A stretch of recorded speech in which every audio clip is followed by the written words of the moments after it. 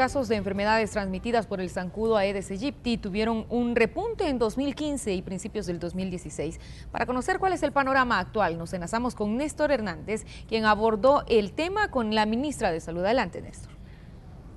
Jennifer Armando, muy buenas tardes. La Organización Mundial para la Salud confirmó en esta semana que ya ha levantado la alerta por la epidemia del Zika, que está afectando sobre todo en Latinoamérica. Esto, según el Ministerio de Salud en nuestro país, se debe a que ya han reducido en gran medida los casos que se han reportado, al menos en el país. 7.500 han sido reportados en el año 2016. Escuchemos las declaraciones de parte de la ministra Violeta Mengíbar.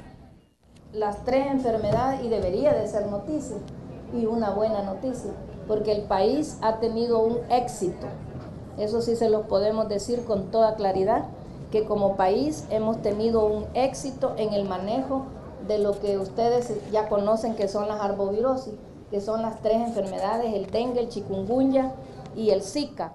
Zika no hemos tenido ninguna mortalidad, las tres enfermedades van en picada, eso es muy... Y en realidad, eh, por eso es que la OMS eh, con los reportes que le enviamos, ¿verdad? Porque nosotros no ocultamos estadísticas. Cuando las tenemos elevadas, las decimos, porque eso previene a la ciudadanía. Igual cuando hay que dar buenas noticias, hay que darlas. Y esta es una buena noticia, que el país ha controlado este año estas tres enfermedades. Y como ya escuchaban, también los casos de dengue y chikungunya están a la baja en el país. Esto en comparación al año 2015, según las autoridades, un 90 y un 92% respectivamente en comparación al año anterior.